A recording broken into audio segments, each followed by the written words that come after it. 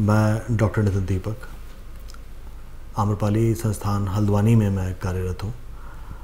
एक बार फिर एक और लेक्चर के साथ फ़ोटोशॉप के मैं आपके सामने उपस्थित हूँ। ये जो इससे पहले हमने लेक्चर देखा था वो वर्जन्स के बारे में था कुछ फ़ोटोशॉप के बारे में जानकारी थी। ये जो हमारा लेक्चर है ये फ़ोटोशॉप जब आप इस्तेमाल करने शुरू करेंगे तो उसके कुछ कुछ आ, अपने इन्वायरमेंट्स हैं कुछ स्क्रीन्स हैं, जिनके बारे में जानकारी होना बहुत ज़रूरी है। जब वो जानकारी हो जाती है, तब आप फ़ोटोशॉप को बहुत बेहतर तरीके से इस्तेमाल भी कर सकते हैं। ये जो हमारा फ़ोटोशॉप का, ये जो लेक्चर है, ये फ़ोटोशॉप के इन्वायरमेंट पे है। एक बार फिर से हल्का सा जान लेते हैं कि फ़ोटोशॉप क्या चीज़ होती है। तो फ़ोटोशॉप एक इमेज एडिटिंग टूल है, जो ग्राफिक डिज़ाइनर्स और वेब डिज़ाइनर्स इस्तेमाल करते हैं। और ये बहुत ज़्यादा इस्तेमाल होता है पर्सनली भी और प्रोफेशनली भी। मैं अपने घर में भी अपने फ़ोटोज़ के साथ स्लाइड्स बनाने के लिए इस्तेमाल कर सकता हूँ। प्रोफेशनली भी मैं इसमें लोगों के लिए काम कर सकता हूँ इंडस्ट्रीज़ के लिए काम कर सकता हूँ। तो ये बहुतायत में इस्तेमाल होने वाला एक ऐसा सॉफ्टवेयर टूल है, जिसकी कोई भी उपलब्धता कम नहीं है किसी भी क्षेत्र में। ये फ़ोटोज़ को आइकन्स के लिए स्कैंड आर्ट वर्क के लिए, आपकी ड्राइंग्स के लिए आपके खींचे हुए फ़ोटोग्राफी फ़ोटोज़ के लिए कैसे भी फ़ोटोज़ के लिए ये एडिटिंग टूल काम करता है। फ़ोटोशॉप स्टार्ट कैसे करेंगे हम?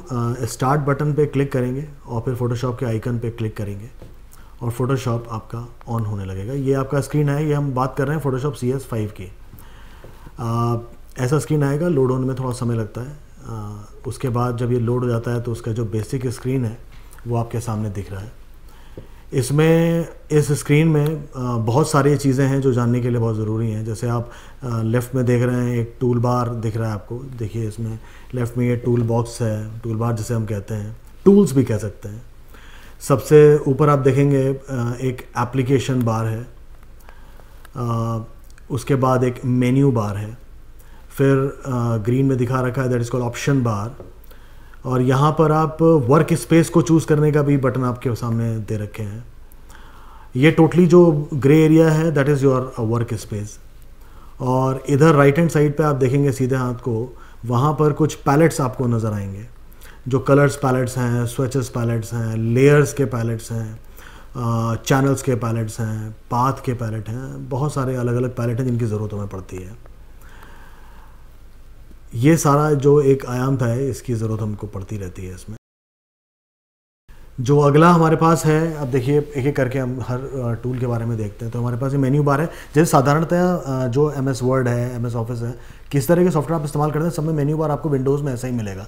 क्योंकि ये विंडोज़ पर हम बात कर रहे हैं तो ये विंडोज़ पर मिलेगा। इसमें देखिए फ़ाइल है एडिट है इमेज है लेयर है सेलेक्ट है, ऐसे बहुत सारे मेन्यूज़ हैं। तो इस पूरे बार को हम क्या बोलते हैं? मेन्यू बार बोलते हैं। अब जब हम इस फ़ाइल पर हमने क्लिक किया था तो आप एक चीज़ और देखेंगे कि उसके अंदर भी बहुत सारे ऑप्शंस हैं और कुछ ऑप्शंस के अंदर भी सब ऑप्शंस भी हैं। तो जो सब ऑप्शंस आते हैं, इन सबको हम बोलते हैं सब मेन्यू। और जो मेन्यू के अंदर दिखा है, जैसे फ़ाइल के अंदर न्यू है, ओपन है, उन्हीं के राइट हैंड साइड पे सीधे हाथ पे आप देखेंगे, एक जगह लिखा हुआ है कंट्रोल प्लस एन जिसको मैंने सर्कल भी किया है। तो वो हमारे शॉर्ट कीज़ हैं। अगर आप मेन्यूज़ पे डायरेक्टली काम करना नहीं चाहते, अपने काम को तेज़ करना चाहते हैं तो आप शॉर्ट कीज़ का भी इस्तेमाल शॉर्टकट्स का भी इस्तेमाल कर सकते हैं। वो सब दिए होते हैं। जैसे मैं बिना मेन्यू के अगर कंट्रोल प्लस एन को प्रेस करूँगा कीबोर्ड में तो न्यू फ़ाइल खुल जाएगा इसके अंदर। ये जो नेक्स्ट है, हमारा टूल बार है। टूल बार जो है, बहुत सारे टूल्स की कैटेगरीज में बटा हुआ है। जैसे सिलेक्शन है सिलेक्शन में क्रॉप है स्लाइस है इन्फो टेस्ट है इन्फो टूल है। आपका ऐसे ही रीटचिंग और पेंट टूल्स हैं जो सिर्फ़ पेंटिंग और रीटचिंग के काम आते हैं। कुछ टूल्स ड्राइंग करने के काम आते हैं। अब इसमें ड्राइंग का क्या मतलब है, ये भी हम आगे बात करेंगे। कि ड्राइंग भी एडिटिंग के लिए जो इस्तेमाल की जाए, वो उस तरह की ड्राइंग को हम यहाँ पर इस्तेमाल करते हैं। कुछ थ्री और नेविगेशन के टूल्स भी यहाँ दे रखे हैं। फिर अगर मैं कलर्स पे खेलना चाहता हूँ तो यहाँ बेसिक चीज़ ही दे रखी है फोरग्राउंड और बैकग्राउंड कलर को मैं यहाँ से चूज़ कर सकता हूँ। मैं मास्किंग मोड पे यहाँ पर काम कर सकता हूँ। ये मेरा टूल बॉक्स है जो अलग अलग तरह के टूल्स अपने अंदर समाहित करके रखता है। अब इसमें आगे देखेंगे, ये ये जो इतने मैंने आपको टूल्स दिखाए हैं, ये हर टूल्स के अंदर कौन कौन से ऑप्शंस खुलेंगे, ये उनकी जानकारी देते हुए हैं। जैसे एक हम पहला ले लेते हैं सिलेक्शन टूल अब उसके अंदर आपके पास मूव टूल है। पहला टूल है मूव जो सबसे ऊपर आपको मूव टूल दिख रहा है, उसको बोलते हैं मूव टूल इसके माध्यम से किसी भी फ़ोटो या लेयर को मैं ड्रैग एंड ड्रॉप करके मूव कर सकता हूँ। इसमें फिर नीचे आप देखेंगे तो एक रेक्टेंगुलर मार्की टूल है। फिर आपके पास इलेप्टिकल मार्की टूल है। फिर सिंगल कॉलम मार्की टूल है। एक सिंगल रो मार्की टूल है। ये सब क्या करते हैं? टूल ये किसी भी इमेज को या इमेज के हिस्से को पार्ट को सेलेक्ट करने का आ, काम करते हैं। लेकिन ये दो ही तरीके से मैं इसको सेलेक्ट कर सकता हूँ या तो रेक्टेंगुलर फ़ैशन में या फिर मैं इलेप्टिकल या सर्कुलर फ़ैशन में कर सकता हूँ। उसी के नीचे आप देखो एक जगह लिखा हुआ है lasso tool lasso tool polygonal tool magnetic tool इनका काम क्या है? अगर मैं रेक्टेंगुलर या सर्कुलर फ़ैशन में चीज़ें सेलेक्ट करना नहीं चाहता हूँ मैं अपने हाथ से फ्री हैंड सिलेक्शन करना चाहता हूँ तो मैं लासो टूल का इस्तेमाल कर सकता हूँ। और बेहतर बारीकी से करना चाहता हूँ तो मैं पॉलीगन का इस्तेमाल कर सकता हूँ। और मैं चाहता हूँ कि ये कंप्यूटर ये सिस्टम मेरी मदद करे सिलेक्शन में। तो मैग्नेटिक टूल है जो कलर्स को पकड़ता है और वो कलर्स के हिसाब से सिलेक्शन करता है। तो सिलेक्शन और आपका फाइन और बहुत क्लीन हो जाता है। ऐसी बहुत सारे इसमें टूल्स दिखाए गए हैं, जिधर धीरे धीरे हमारे लेक्चर्स आगे आएँगे तो आप लोगों को सीखने का मौका मिलेगा। अगला देखिए अब ये यहाँ पर बहुत सारे पैलेट्स आपको दिखाए, जो राइट हैंड साइड में मैंने पहले बात की थी। वो जब क्लिक करते हैं तो इस तरह के पैलेट्स उसमें खुलते हैं। जैसे आप देख रहे हैं एक कलर बॉक्स का है, एक आपका पैटर्न स्वेचेस का टूल है स्टाइल्स का है, एक लेयर का इसमें टूल जो पैलेट दिखा रखा है। एक ऐसी अगर आपको टाइपिंग करनी है तो करेक्टर का टूल भी करेक्टर का भी पैलेट आपको दिखा रखा है। Now these are the palettes in Photoshop which can be used very easily बहुत आसानी से इनको इस्तेमाल किया जा सकता है। अब इसके बाद देखिए, जब हम न्यू फ़ाइल खोलते हैं तो मैं बता दूँ पहले कि फ़ोटोशॉप में जब नई फ़ाइल खुलती है तो उसको हम कैनवस कहते हैं। वो कैनवस कहलाता है। जैसे हम अमूमन कोई ड्राइंग करते हैं, अगर हम मैनुअली पेंट से तो जो हम बोर्ड पर काम करते हैं, उसको कैनवस कहते हैं। इसी तरीके से फ़ोटोशॉप की फ़ाइल को भी हम क्या बोलते हैं? कैनवस कहते हैं। कैनवस को सेट करने के लिए यहाँ पर जब हम न्यू फ़ाइल करते हैं न्यू कैनवस बनाते हैं तो उसमें बहुत सारे ऑप्शंस हैं जिनका ध्यान रखना पड़ता है। जैसे हम कैनवस का नाम क्या देंगे? वो कैनवस का नाम हमको देना पड़ता है। कैनवस की विथ और हाइट सेट करनी पड़ती है कि मुझे जो फ़ोटो या फिर किसी इमेज पे काम करना है तो उसका विथ और हाइट कितना होगा, उसको बताना पड़ता है। फिर हमें देखना पड़ता है रेजोल्यूशन यहाँ पर रेजोल्यूशन जो है, वो पीपीआई में दिया जाता है, जिसको बोलते हैं पिक्सल पर इंच हर इंच में कितने पिक्सल होने चाहिए जिससे उसका बेहतर रेजोल्यूशन हो सके, उसको भी यहाँ सेट किया जाता है। एक बेसिक फ़ोटो पे काम करने के लिए अगर आप प्रैक्टिस कर रहे हैं तो 72 two is a standard PPI ratio उसके बाद आप राइट हैंड साइड में देखोगे तो वहाँ पर आपको फ़ाइल का साइज़ भी दिखाता है कि अगर ये फ़ाइल आप इस सेटिंग के हिसाब से बनाएँगे तो अमूमन इतनी साइज़ की फ़ाइल आपकी बनेगी। ऐसे इसमें बहुत सारे ऑप्शंस हैं जो थोड़ा टेक्निकल है, हम आगे बात करेंगे। इसी में एक फिर हम इसको ओके कर देते हैं तो आपका नया कैनवस स्टार्ट हो जाता है वाइट बैकग्राउंड के साथ। नेक्स्ट जो है, इसमें देखिए मेन्यू बार के अंदर एक ऑप्शन है इमेज का, जिसमें एक दिखा रखा है कि और पे हम रेडीमेड टूल्स भी हमारे पास हैं यहाँ पर। जैसे इमेज है तो उसके अंदर हमारे पास एडजस्टमेंट का एक मेन्यू है, उसके अंदर सब मेन्यूज़ हैं, जैसे कलर बैलेंस अगर मैं इस फ़ोटो का कलर बैलेंस करना चाहता हूँ, मैं थोड़ा रेड ज़्यादा करना चाहता हूँ, या मैं ग्रीन ज़्यादा करना चाहता हूँ तो मैं उसको इसके माध्यम से यहाँ पर रेडीमेडली कर सकता हूँ. तो ये भी हमारे पास कुछ रेडीमेड इफ़ेक्ट्स मेन्यू बार में भी आपको मिलते हैं, जो अमूमन यहाँ नहीं मिलते हैं, क्योंकि जो कॉमनली इस्तेमाल होते हैं, वो सारे पैलेट्स में और टूल बार में आपको सामने देखते हैं. मगर बहुत ज़्यादा डेप्थ में अगर आपको काम करना है तो मेन्यू बार में भी बहुत सारे ऑप्शन हैं, जिनका आप इस्तेमाल कर सकते हैं. जैसे हमने पहला देखा एडजस्टमेंट और कलर बैलेंस ऐसी डी सैचुरेट कमांड है हमारे पास, ऐसी ही हमारे पास फ़िल्टर का कमांड है। ऐसे ही अब नेक्स्ट टूल है हमारे पास नेक्स्ट सॉरी मेन्यू है that is called filter filter में आप जाएँगे तो वहाँ पर एक ऑप्शन दे रखा है हमने डिस्टॉर्ट का, जिसमें वेव्स नाम दिए हैं। तो आप इसका इस्तेमाल भी इन फ़ोटो पे कर सकते हैं। ऐसे फ़िल्टर्स बहुत सारे फ़िल्टर्स हैं। कुछ यहाँ पर गिवन है, कुछ ऐसा भी होता है कि आप इंटरनेट से नेक्स्ट डाउनलोड भी कर सकते हैं।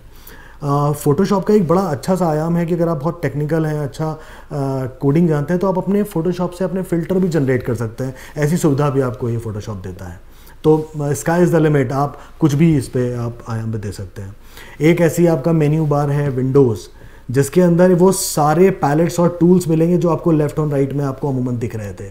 तो सारे तो दिखते नहीं हैं तो वो सारे मेन्यू बार में मिलते हैं जो आपको ज़रूरत होती है। अदरवाइज़ आप डायरेक्टली उन पर काम कर सकते हैं और उनकी शॉर्ट कीज से भी उनका इस्तेमाल कर सकते हैं। जैसे उदाहरण के तौर पे F7 अगर आप की प्रेस करेंगे तो लेयर पैलेट आपका खुल के सामने आता है। नेक्स्ट आप देखेंगे कि फ़ाइल का न्यू कैनवास हम करते हैं फ़ाइल में जाते हैं क्लिक करेंगे तो न्यू फ़ाइल कैनवास ओपन हो जाएगा। Now this is my a new canvas अभी इस कैनवास के साथ आप सीधे हाथ को देखेंगे तो यहाँ पर पीपीटी में एक लेयर पैलेट भी आपका खुला हुआ है। उसमें देखिए वाइट कलर का एक बैकग्राउंड लेयर आपके सामने दिख रही है, जो डिफ़ॉल्ट होता है। अब वो डिफ़ॉल्ट लेयर अच्छा फोटोशॉप में जब भी कैनवास पे आप काम करेंगे तो विदाउट लेयर आप कोई काम नहीं कर सकते। इस कारण से अमूमन अपने आप ही एक default layer palette layer palette में एक लेयर बैकग्राउंड लेयर आपको नज़र आएगा। जो बिना लेयर के हम इस पर काम नहीं कर सकते तो वो जो वाइट बैकग्राउंड है, वो आपको लेयर में भी वाइट एक स्क्वायर में आपको नज़र आ रहा है। इस तरीके से हम इस पर काम करते हैं। अब जो दूसरा आयाम है, वो ये है कि फ़ोटोशॉप पे जब हम इमेज एडिट करते हैं तो एक्चुअली इमेज एडिट हो कैसे जाती है? तो उसका कारण ये है कि जो सिस्टम हमारा जो कंप्यूटर सिस्टम है, वो पिक्सल्स में बटा हुआ बिट्स और बिट्स में काम करता है। जो हमारा स्क्रीन रेजोल्यूशन है, वो पिक्सल्स में काम करता है। तो जो हमारा फोटोशॉप है, वो भी हमारा पिक्सल्स पे काम करता है, जिनको हम बोलते हैं रास्टर ग्राफिक्स और पिक्चर्स ना what is raster graphics and pictures तो मैंने दो पिक्सल्स और वेक्टर ग्राफिक्स के माध्यम से आपको समझाने की कोशिश करता हूँ. तो एक में ये दोनों पिक्चर सेम है, मगर एक वेक्टर ड्राइंग को शो कर रहा है और एक आपके पिक्सलेटेड ड्राइंग को शो कर रहा है, जहाँ पर पिक्सल्स आपको लेंस में दिख रहे हैं. लेकिन वही लेंस में वेक्टर में आपको पिक्सल्स नहीं दिख रहे हैं. तो जो टूल वेक्टर में काम करते हैं, वहाँ पर ड्राइंग बहुत आसान हो जाती है, क्योंकि उसका डिस्टॉर्शन का एरिया होता ही नहीं है, उसका रिजोल्यूशन का जो लिमिट है वो होता ही नहीं है। वो जितना भी जूम करें, आपको साफ़ ही नज़र आएगा। लेकिन उसकी भी कुछ लिमिटेशन है, आप इसमें एडिटिंग नहीं कर सकते हैं वेक्टर्स में। एक एक इंच पर जाके एक एक पिक्सल पर आके एडिटिंग नहीं कर सकते हैं। इसी कारण से फोटोशॉप की इंपॉर्टेंस है। फोटोशॉप में जो डिस्टॉर्ट लेंस का जूम करने के बाद जो आपको पिक्सल्स नज़र आ रहे हैं, हर पिक्सल का मैं अलग से अगर कलर चेंज करता हूँ that is called basically editing editing का सही माने में जो मतलब है कि फ़ोटोशॉप uh, के अंदर आप पिक्चर जो देख रहे हैं वो एक्चुअली कलर्स का ही तो कॉम्बिनेशन है जो हमें व्यू कराता है एक पिक्चर के रूप में। तो अगर उन रंगों पे मैं कुछ बदलाव करूँगा तो डेफिनेटली उसमें कुछ ना कुछ बदलाव सामने आएँगे। ये दूसरी पिक्चर है जो उदाहरण के तौर पे दी गई है। एक फूल uh, बना हुआ है उसको मैंने जूम किया। तो लेंस में आप देखेंगे वो पिक्सलेटेड नज़र आ रहा है। तो एक स्क्वायर जो आपको दिख रहा है कलर्स का, एक एक स्क्वायर उसको हम पिक्सल कहते हैं। तो ये सारे क्या हैं? These are the dots which are called pixels इनमें अगर मैं कलर चेंजेस करूँगा तो फूल का तो रंग रोंग सब चेंज हो सकता है। मैं एक नारंगी ऑरेंज फूल को लाल में, सफ़ेद में कैसे भी कन्वर्ट कर सकता हूँ, ये कलाकारी पर डिपेंड करता है, आपकी प्रैक्टिस पर डिपेंड करता है। आज का लेक्चर इसी पर आधारित था, जिसको आपको फ़ोटोशॉप के इन्वायरमेंट पे हम बात कर रहे थे। ये फ़ोटोशॉप के इन्वायरमेंट में हमने क्या क्या सीखा? जैसे फ़ोटोशॉप का मेन्यू बार कैसे इस्तेमाल करना है टूल बार कैसे इस्तेमाल करना है पैलेट्स दे रखे होते हैं, जिससे आप फास्ट कम कर पाएँ। शॉर्टकट कीज़ पर आप कैसे काम कर सकते हैं? जैसे F7 दबाया तो layer palette control and press किया तो न्यू फ़ाइल खुलता है। यहाँ पर फ़ोटोशॉप की फ़ाइल को हम क्या बोलते हैं? कैनवस कहते हैं। उसका साइज़ हमें डिफ़ाइन करना पड़ता है उसका रेजोल्यूशन हमें डिफ़ाइन करना पड़ता है। आ, ऐसे ही एक बात और बताता हूँ जो मैंने पिछले लेक्चर में बताया था। यहाँ पर फोटोशॉप का जो कैनवस हमने खोला था उसका ओरिजिनल फ़ाइल किसमें सेव होएगा? डॉट पी में फोटोशॉप डॉक्यूमेंट में जो ओरिजिनल फ़ाइल कहलाएगा। तो ये कुछ फोटोशॉप के इन्वायरमेंट के बारे में आप लोगों के लिए जानकारी थी। इस लेक्चर में आज इतना ही है और अगले लेक्चर में हम टूल बार टूल बॉक्स कैसे इस्तेमाल किया जाए, उसके बारे में भी आपको जानकारी देंगे, जो बिगिनर्स के लिए बहुत अच्छी रहेगी, जिससे आप अलग आयाम पे जा सकते हैं। धन्यवाद।